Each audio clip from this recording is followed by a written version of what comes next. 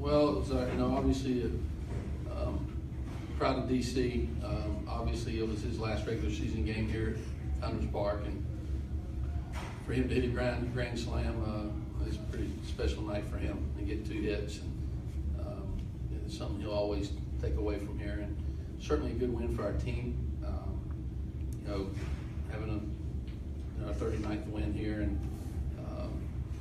Citadel that's obviously been struggling, but it was an important win because we certainly wanted to go to Tuscaloosa with, with some momentum, uh, feeling good about ourselves. And we had 16 hits and 16 runs, so offensively, hopefully, you know, our guys are, are, are feeling pretty decent about themselves as, as we go down there for our last regular season SEC series.